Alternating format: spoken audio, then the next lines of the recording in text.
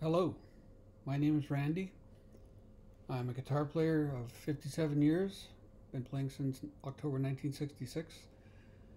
And nine days ago, I had suspensionplasty surgery on my thumb, which you can't see because it's covered. And so far, so good. I can still wiggle my fingers, and if you can see my thumb, I can wiggle my thumb.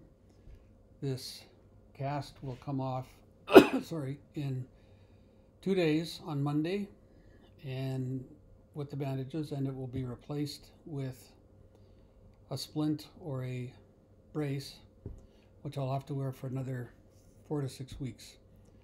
And hopefully, beyond that, I will uh, start healing properly and be able to play guitar again by June or July. And I just wanted to let everybody know that it went well. Surgery lasted about 90 minutes, I guess. It was uh, outpatient surgery, so I was at the hospital at um, 8 o'clock, and I was uh, home by 3 or 3.30. So I'll uh, give another update uh,